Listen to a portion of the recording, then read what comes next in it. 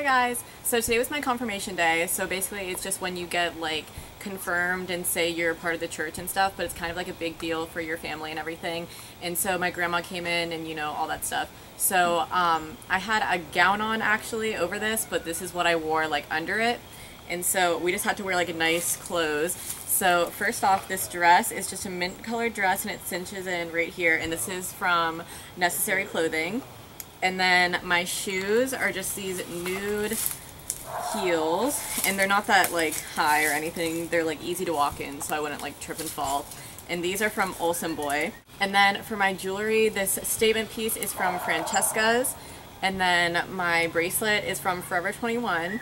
And then these earrings are from Target and they're just like these little gold bows. I actually decided to like middle part my hair today and I never really do that but I think it looks decent. But yeah and then my hair is just natural.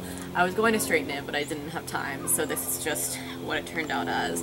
But yeah so this is my whole little outfit. I'd turn around but I'd fall over so Hi guys, so I also went to Meghan's confirmation today obviously so I wanted to show you what I was wearing as well. So I'm wearing this dress that I got in Chicago a couple days ago and I got it at a store called Akira, I think that's what it's called, um, and we don't have those here. I think it might be only in Chicago, so I really wanted to get it while I was there because I loved it. So it's just this oxblood or maroon, whatever you want to call it, color, and um, it has these awesome sleeves that have like little balls, gold, I don't know what to, what to call them, they're not like studs. Gold embellishments, yeah, embellishments.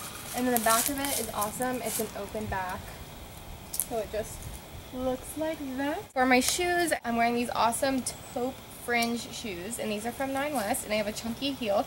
They are comfortable on the feet, but they are killing my legs. So I really like these shoes, even though they're not that comfy, I still love them. And then for my accessories, I have my bag, and this is my Louis Vuitton Eva clutch, and I really, really love the way this looks with my outfit. And then I have this bracelet, which is just from Forever 21. And then I have this ring, which is from Jewelmint, and it's like one of those big rings. And I really have been loving this lately. I've been wearing it a lot. And then I think that's it. I just did my hair curled how I always do it with my Remington curler. It takes literally 10 minutes and I do it all the time. So that's all that I did. So um, yeah, bye guys.